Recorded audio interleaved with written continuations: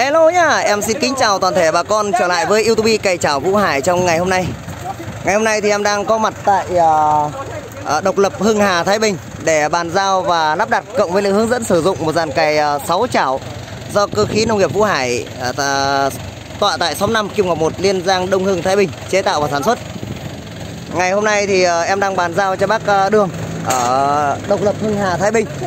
Và quá trình à, lắp đặt canh chỉnh à, cũng gần như là sắp xong. Thì à, bên em đang chờ cái giờ đẹp nhất để xuống đồng cùng với bác ấy. Em cũng như thường lệ thôi. Em làm một đoạn clip ngắn ngắn, nhỏ nhỏ để quay và giới thiệu cũng như là để cho anh em tham khảo. Nếu như anh em có nhu cầu một dàn cày 6 chảo cho máy 4508 hoặc là những dàn cày chất lượng của bên em thì liên hệ hoặc alo cho em. Theo số điện thoại là 0936 975 256 hoặc là 09 82 975 256 đó.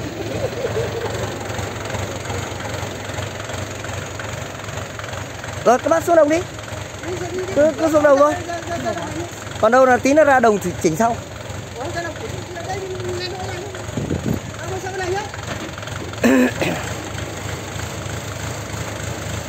Rồi em ờ, xin phép uh, các bác uh, kết thúc video tại đây, Một tí xíu nữa em ờ, vào ruộng rõng cày rồi thì bắt đầu em lại quay nối tiếp video này. Kính chào và gặp lại tất cả các bác trong ờ, video tới đây.